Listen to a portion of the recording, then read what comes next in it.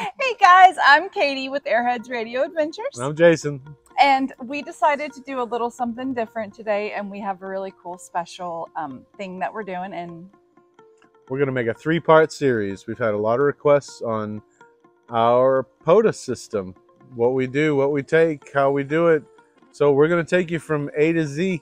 Our first video next is going to be on the gear, what we bring with us, what radios, what antennas, what power sources, um, what accessories we bring, like you know, bug spray and sunscreen and all the things that people forget to do.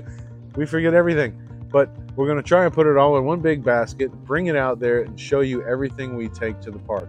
Second video, we're going to show you actually how we set it all up from the beginning of the day. What park are we going to? Why are we going there? Uh, what are the regulations of that park? Can we put antennas in trees? Can we put a stake in the ground? No, it's a burial ground. We can't do that. We got to think of something else. So we're going to cover all the contingencies, all the backup plans, and show you how we plan our POTA day.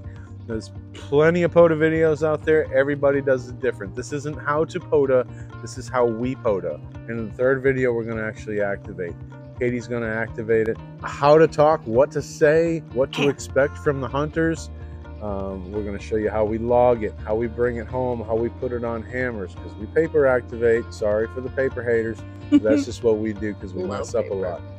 We'll show you how to get from HAMRS, how to put it on QRZ, how to put it on the POTA website. It's going to be a lot of fun, and we hope we answer all your questions. If you do have questions before we get to filming the rest of these videos, stick them down in the description below, and we'll try and cover that in the next couple of weeks.